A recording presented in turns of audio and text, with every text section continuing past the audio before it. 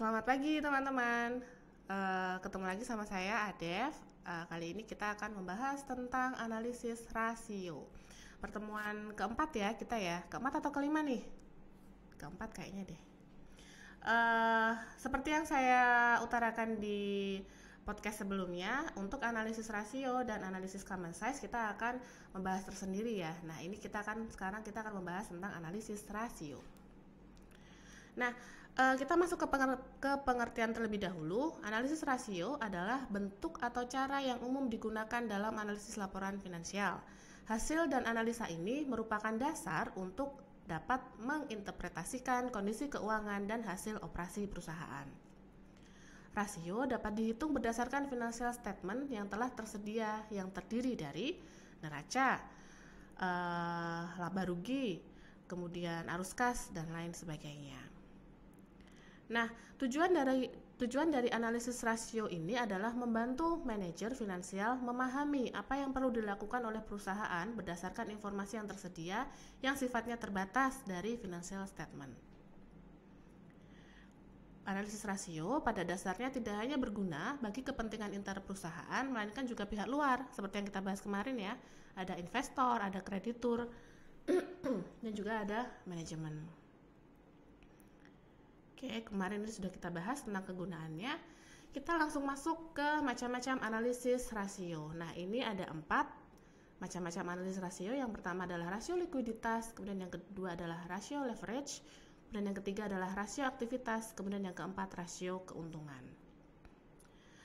Kategori rasio yang pertama dan kedua, yaitu adalah rasio likuiditas dan leverage, ini biasa disebut dengan rasio neraca karena apa? Karena faktor-faktor yang diperbandingkan ini, yang diperhitungkan ya maksudnya, adalah faktor-faktor yang ada di neraca. Kemudian rasio yang ketiga, yaitu rasio aktivitas, ini dikenal sebagai interstatement ratio.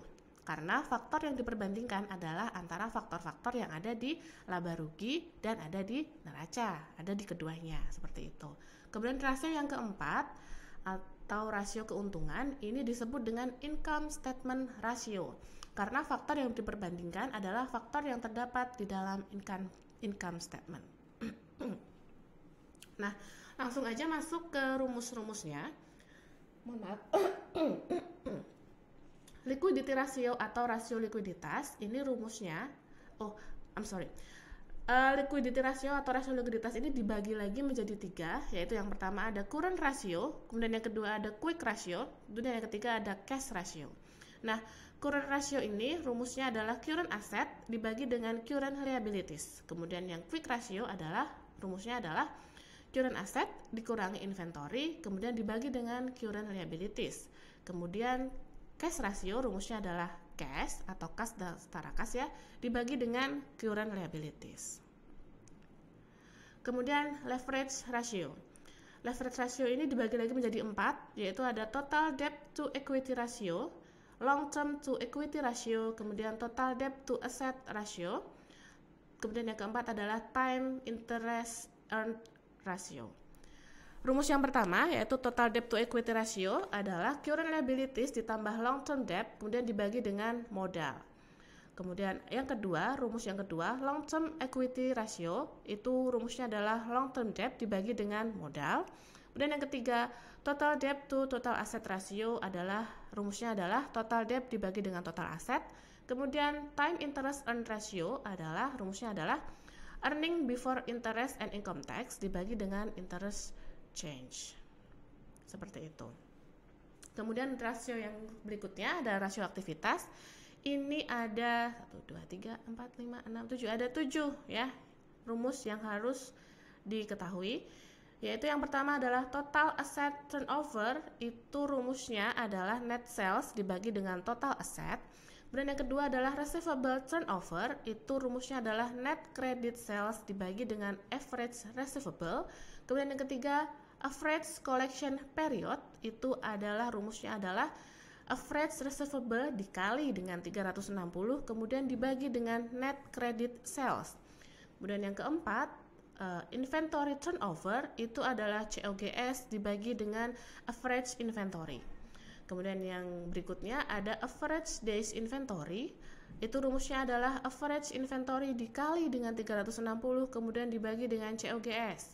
Kemudian yang keenam, working capital turnover itu rumusnya adalah penjualan dikurangi COGS dibagi dengan penjualan lagi. Seperti itu. Nah, kemudian yang terakhir ada fixed asset turnover itu rumusnya adalah net sales dibagi dengan fixed asset. Kemudian rasio keuntungan terbagi menjadi empat yaitu gross profit margin. Rumusnya adalah sales dibagi dengan COGS I'm sorry, sales dikurangi dengan COGS dibagi dengan sales.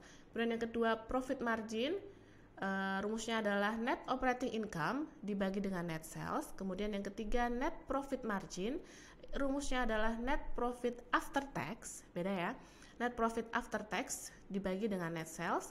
Kemudian yang keempat adalah operating profit margin rumusnya adalah uh, earning before tax atau EBIT dibagi dengan net sales.